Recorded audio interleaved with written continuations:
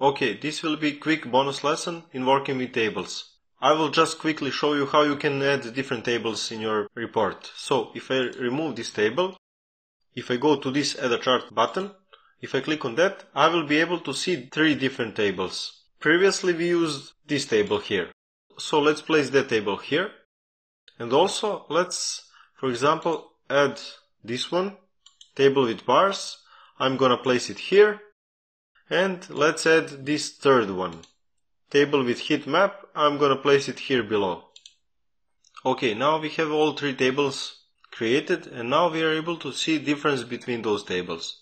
For the first simple one, we have only our dimension and in this metric column we have values. For the next one, it is actually bar table.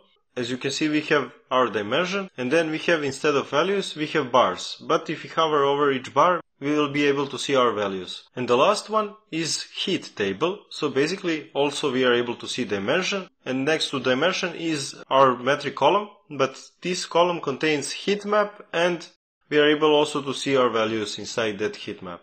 So basically it's up to you to choose which one you need for your specific situation.